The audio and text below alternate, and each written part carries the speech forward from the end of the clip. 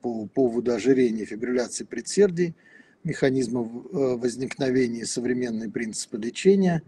Э, будет докладывать Тарзиманова Аида Ильгазир, Ильгизовна, извините. Напомню, что она является автором наших рекомендаций по ковиду и постковидному синдрому, с автором, да, и мы всегда очень приветствуем наших друзей и соавторов. Пожалуйста. Я выхожу. А Большое а спасибо. Спасибо, Павел Андреевич. Большое спасибо за то, что пригласили меня принять участие в сегодняшней конференции. Мне очень приятно. Уважаемые коллеги, э, на сегодняшний день, ну, наряду, конечно, с э, актуальной как, эпидемией коронавирусной инфекции, признала э, роль еще трех очень важных неинфекционных заболеваний. И мы можем сказать о том, что внутренних болезней также наблюдается эпидемия Это эпидемия ожирения, это эпидемия диабета, это эпидемия хронической недостаточности.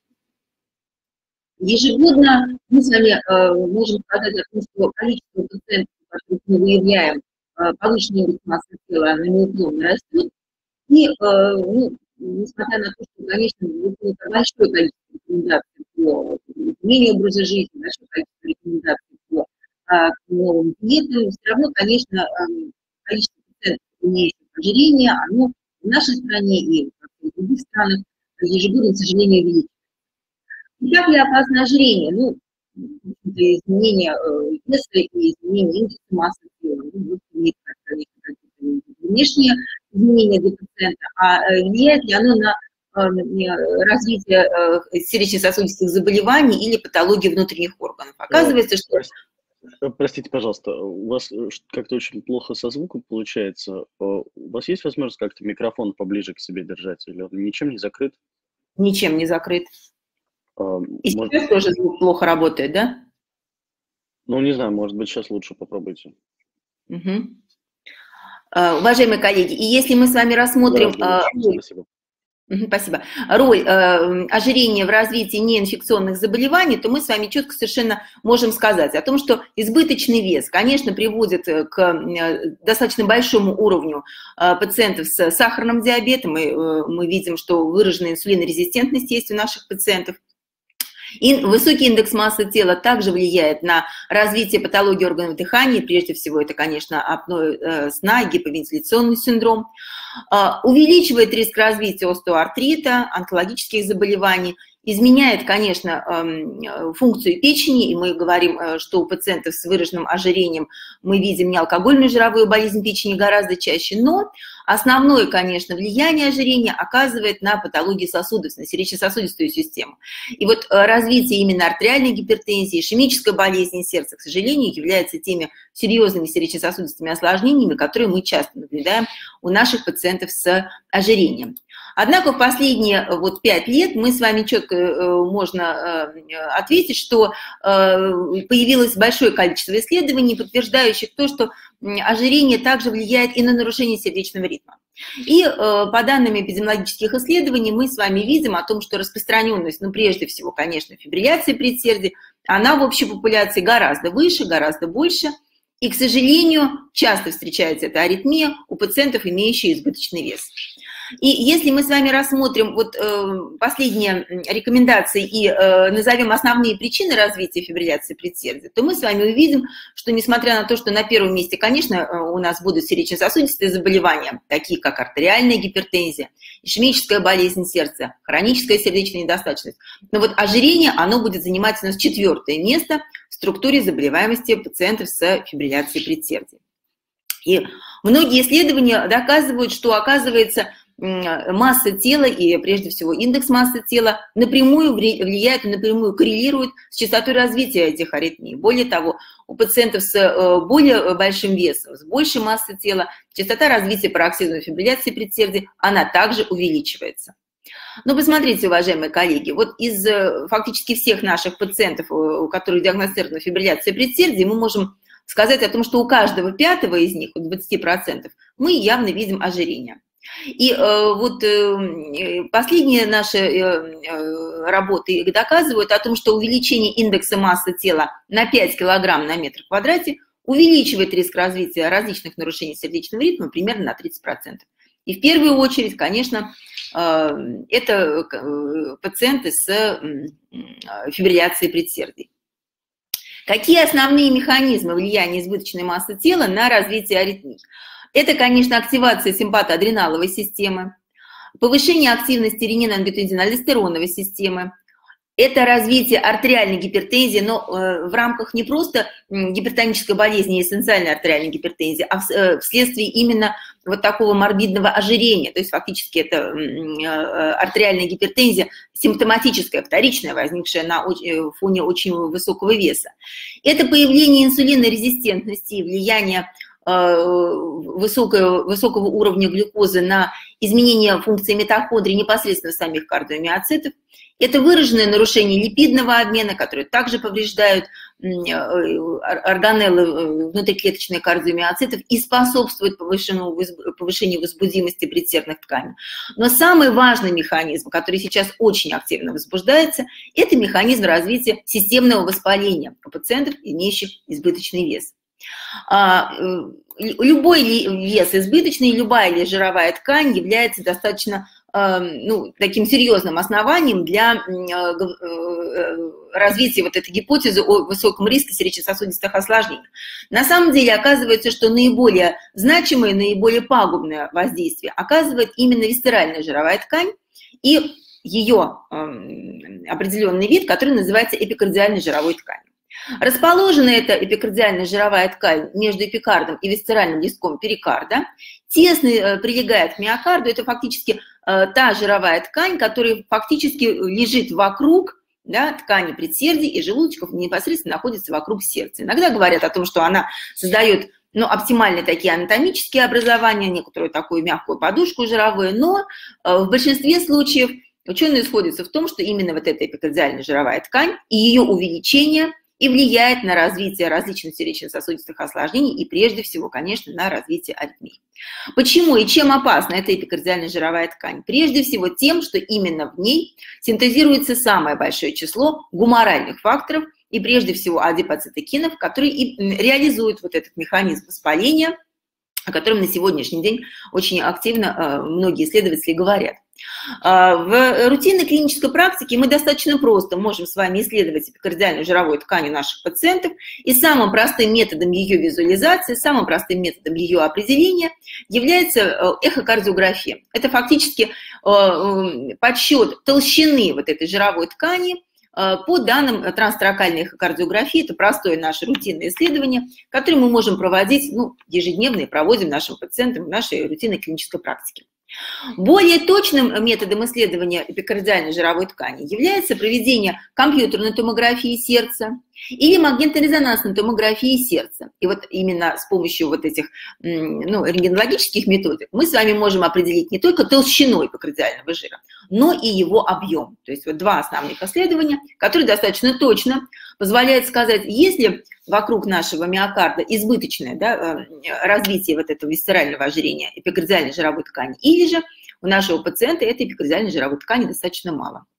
И вы знаете, э, мы проводили большое количество исследований, вот за последние два года у нас уже, в общем-то, есть целая такая база данных наших пациентов, которые мы э, с помощью эхокардиографии, безусловно, изучали толщину эпикардиальной жировой ткани, и мы видим очень часто, что даже у тех пациентов, у которых нет вроде бы очень избыточного веса, и мы не видим у них э, выраженной третьей морбидной степени ожирения, но эпикардиальная жировая ткань в ряде случаев, она действительно присутствует, и большинство этих пациентов, к сожалению, имеют более тяжелый анамнез сердечно-сосудистой патологии.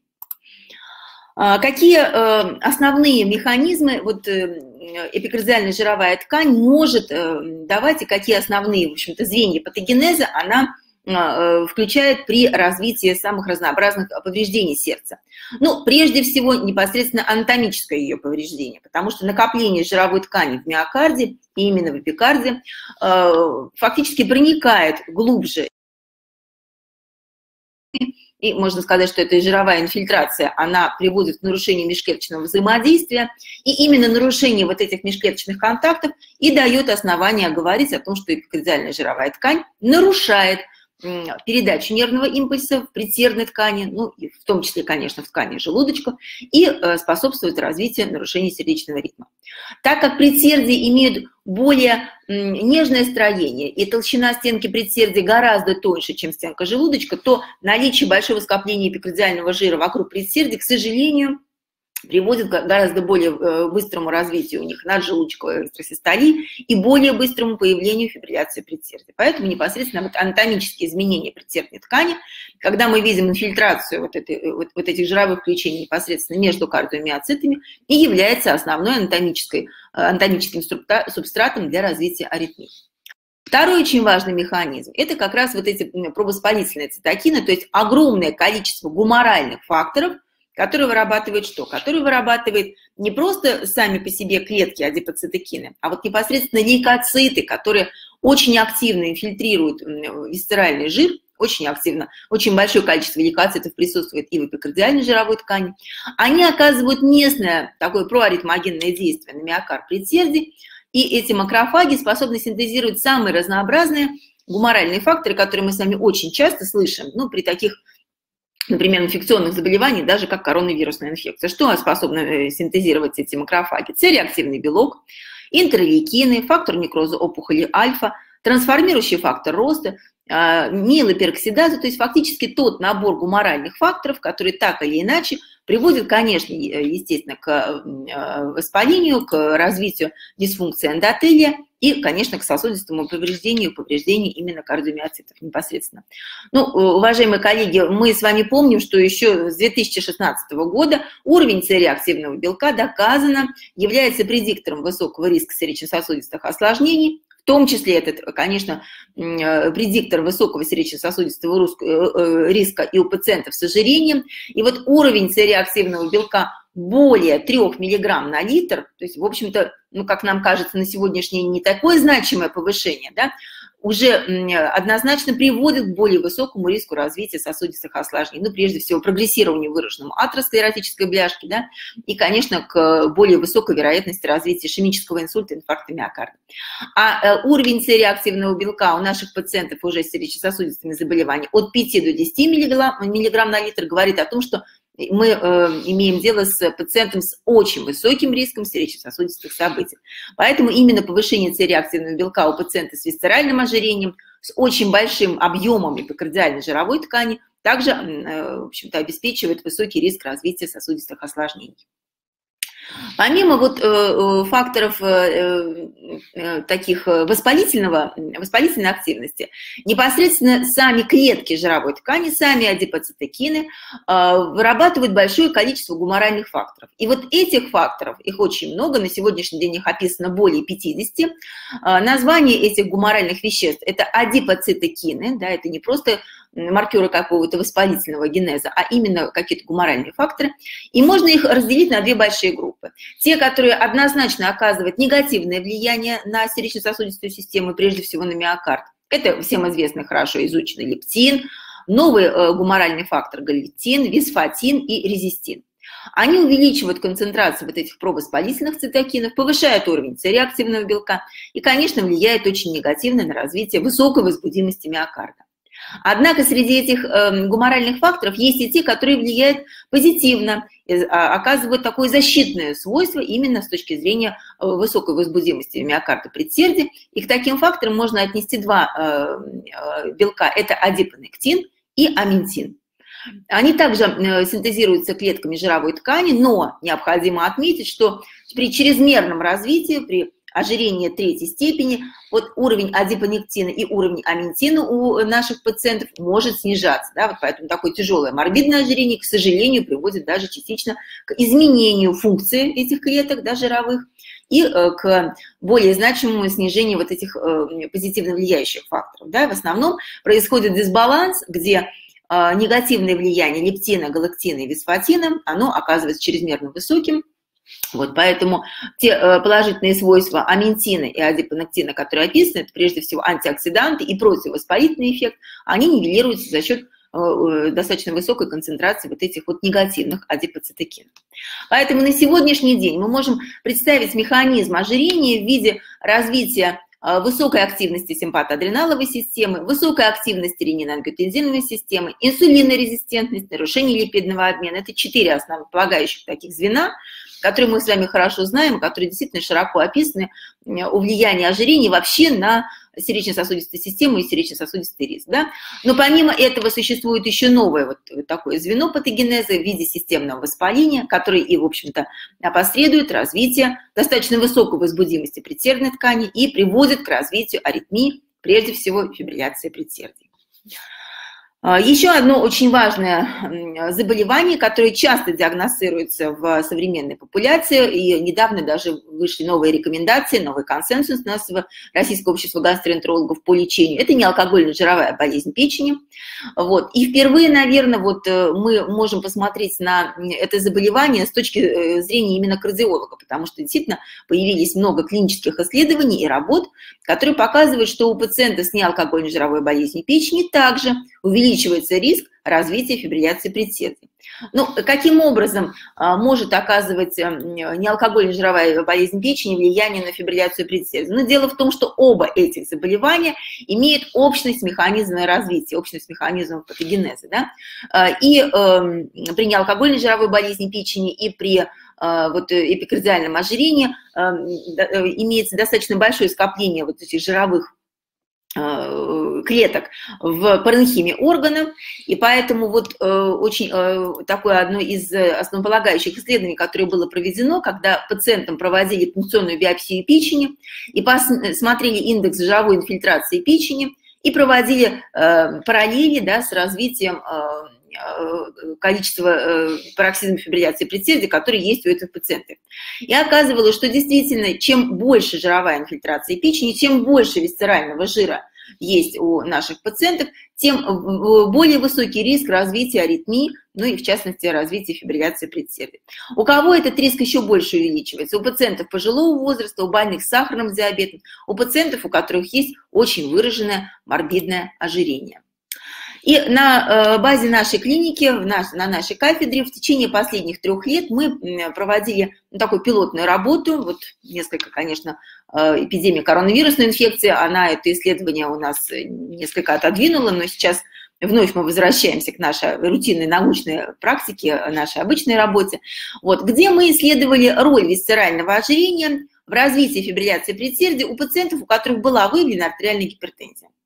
А, целью нашей работы было изучить влияние размеров эпикардиальной жировой ткани и плазменных концентраций вот этих адипоцитокинов а, на возникновение фибрилляции предсердий у пациентов с артериальной гипертензией. Уважаемые коллеги, мы включили 106 а, пациентов, из которых 63 больных, это были больные с артериальной гипертензией и пароксизмальной формой фибрилляции предсердий, и 43 пациента, у которых была выявлена артериальная гипертензия, но нарушение сердечного ритма в анамнезе и при проведении суточного мониторирования КГ не, выяв... не было.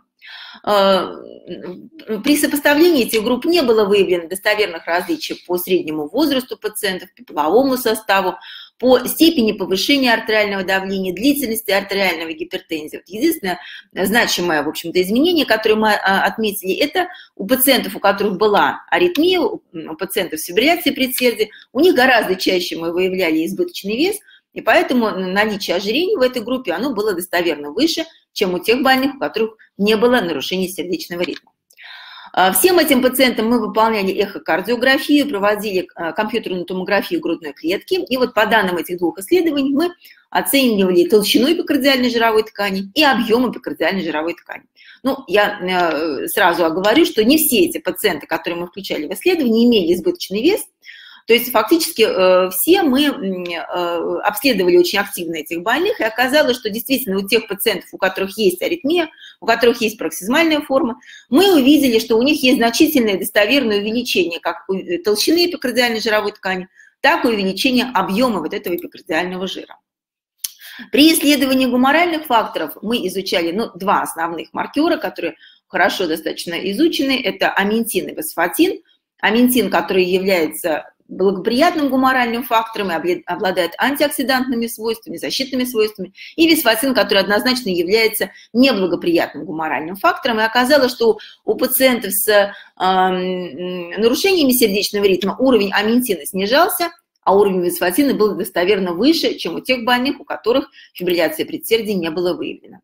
И при проведении многофакторного регрессионного анализа было выявлено, что действительно наличие вот э, большого объема и э, большой толщины эпикардиальной жировой ткани фактически в 4 раза увеличивает риск развития фибрилляции предсердий при сравнении с теми пациентами, у которых этот объем эпикардиальной жировой ткани, в общем-то, остается длительное время нормальным.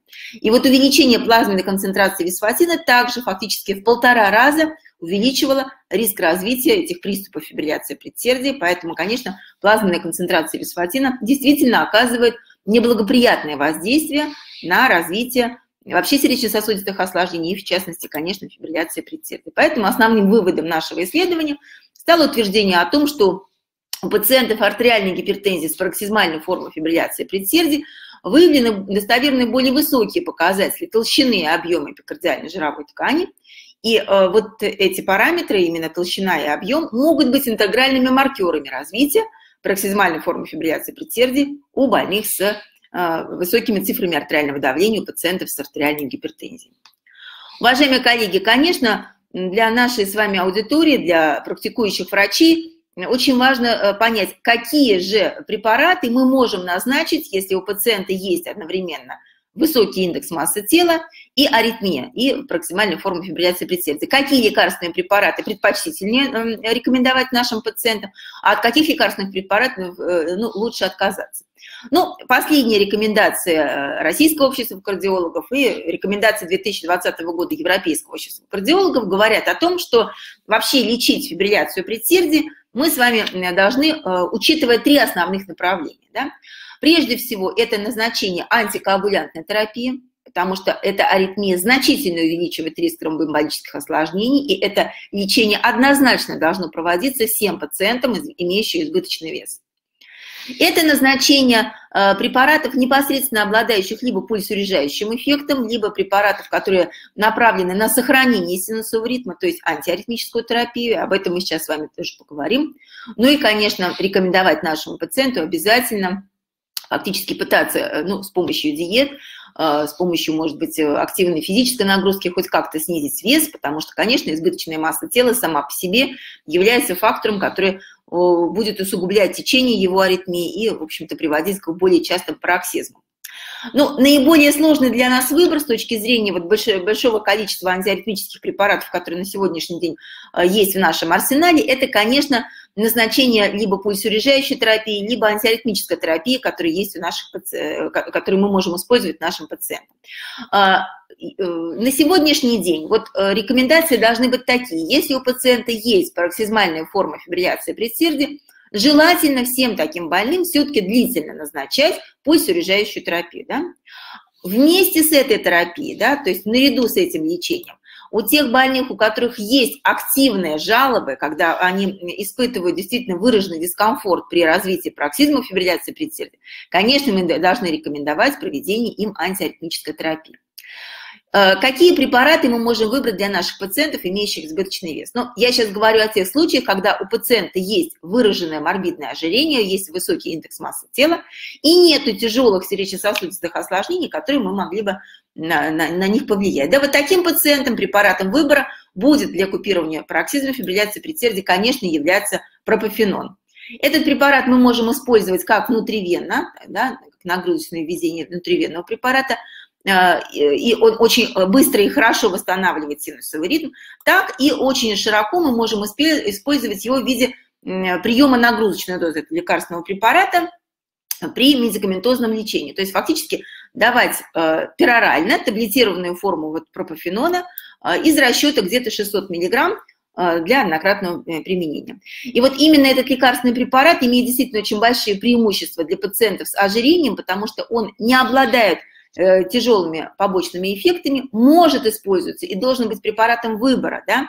У пациентов без грубых органических изменений сердца, и вот об этом мы сегодня как раз с вами говорим, что у пациента нет тяжелого какого-то изменения сердца, да?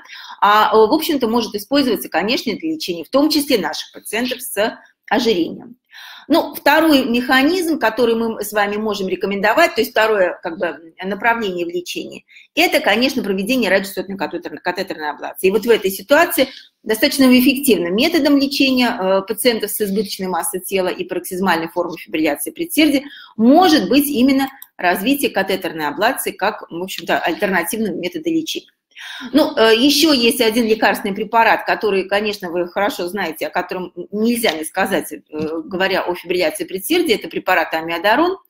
Однако при сравнении с пропанормом мы можем сказать, что, к сожалению, у него гораздо больше побочных эффектов. И вот для длительного приема, да, в сравнении с амиодароном, к сожалению, у, эм, э, пропан... у амиодарона есть э, гораздо больший период полувыведения – этот э, препарат очень хорошо аккумулируется в тканях, и поэтому, конечно, э, в сравнении с препаратом первого С-класса, в сравнении с пропофеноном, э, амиодарон, конечно, будет уступать. Почему? Из-за именно большого количества проаритмогенных эффектов.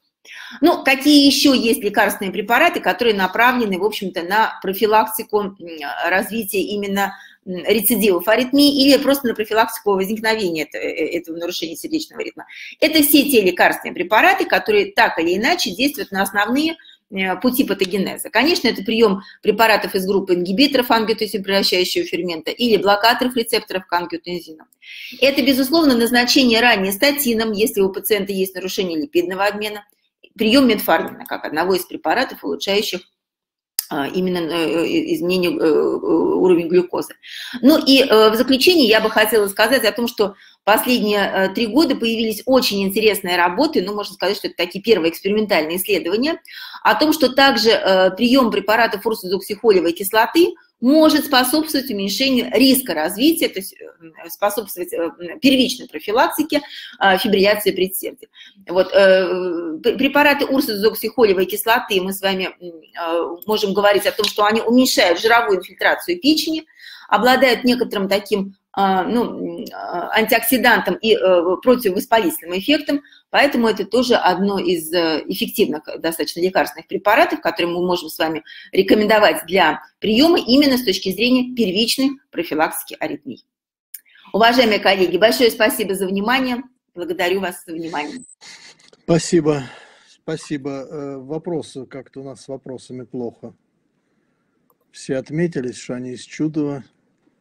Павлодара, а, а, Архангельска. А вот с вопросами как-то в этот раз не, не богато. Ну, немножко, мне кажется, все сейчас прибиты ситуацией и вообще как-то думают о разном. Вот, поэтому, ну, тогда мы поблагодарим э, за выступление. Вот, ну вот пишут спасибо, спасибо, да, ну, спасибо. Мы Спасибо. будем дальше работать. А вот есть ли препарат для уменьшения висцерального жира? И именно истинно препаратов, которые только это выбирают, таких нет. Поэтому единственное здесь, конечно, так же, как и общие рекомендации, вот, мы можем рекомендовать только, ну, может быть, терапия э, вообще препаратами для снижения веса, но лучше, конечно, это все-таки рекомендовать диету, самое главное, и активную физическую нагрузку, чтобы просто уменьшить, в том числе этот эпикардиальный жир. Вот, а поэтому как какого-то э, э, основного единственного препарата такого на сегодняшний день нет. Хорошо. Спасибо.